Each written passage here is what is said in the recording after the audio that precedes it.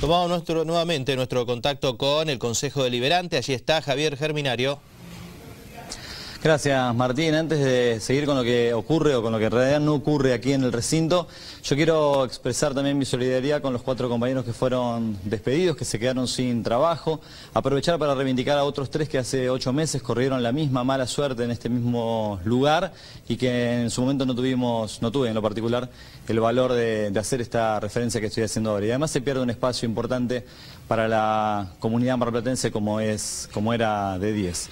Ahora sí te cuento que pasaron más de 15 minutos de la hora en la que se había anunciado que se volvía del cuarto intermedio, pero no volvieron a reunirse los presidentes de bloques. Hasta este momento lo que hubo fue una reunión de casi medio Consejo Deliberante, que es ni más ni menos que el interbloque de Cambiemos y que parece que no se ponen de acuerdo entre ellos. Las diferencias no solo tienen que ver con la postura de Angélica González, que ya votó en contra de la emergencia en las comisiones, sino con algunas otras situaciones a las que no pueden acordar. Y además, con que desde la reunión de comisiones hasta acá ha habido algunas propuestas que aparentemente todavía requieren de consenso antes de que se llegue al momento de sesionar y ver si va a haber emergencia o tal vez no. Es lo que le vamos a consultar a Daniel Rodríguez, porque ustedes tienen una postura alternativa, una propuesta.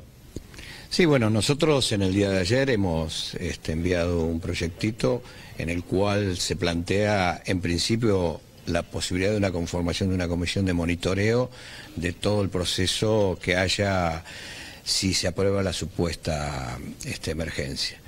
Pero más allá de eso, a mí me parece que es muy importante porque uno que, ya hace bastantes años que está en la política le preocupan lo que voy a decir, es qué es lo que está pasando en la casa de cada uno de los marplatenses. Y la gente está como en vilo viendo qué va a suceder con la recolección de basura mañana.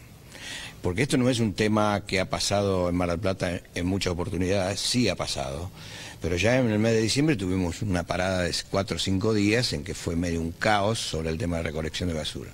Lamentablemente pasó todo este tiempo, se logró 60 días este, de prórroga y en los 60 días no hemos discutido y ahora estamos discutiendo sobre la hora de emergencia del día del cierre, que es hoy 28, qué salidas tenemos para poder llevar adelante esto.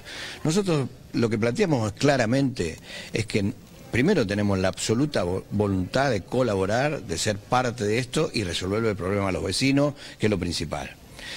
Punto número dos, ¿en qué condiciones? Y en las condiciones, primero, que nosotros no tenemos ninguna confianza en el Ejecutivo Municipal. Esto es absolutamente claro y preciso y tenemos pruebas a las cuales me remito. Dos años de gestión donde no se resolvió el problema, prórroga donde no se resolvió el problema y ahora en el último día estamos empezando a discutir este, entre gallo y medianoche, corriendo modificaciones para poder llevar adelante este, una emergencia de la cual no tendríamos que entrar si hubiéramos hecho las cosas como corresponden.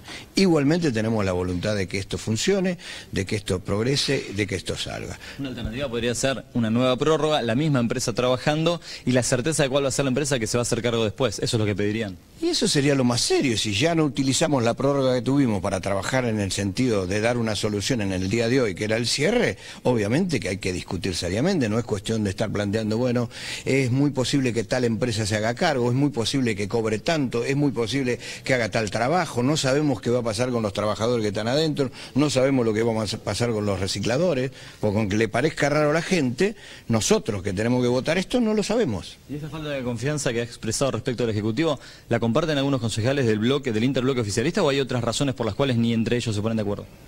Yo me voy a ocupar de mi bloque, con todo respeto, que cada uno tiene lo suyo. Digo, nosotros lo que estamos planteando es esto, la oposición, todos hemos manifestado esto, y hay voluntad de sectores de Cambiemos de verificar de que las cosas salgan por consenso. Uno siempre se ha llenado la boca con las este, políticas de Estado, siempre desde hace años, los políticos hablábamos de la política de Estado y nunca llegamos a instancias, bueno, esta es una emergencia, apliquemos el criterio de una política de Estado.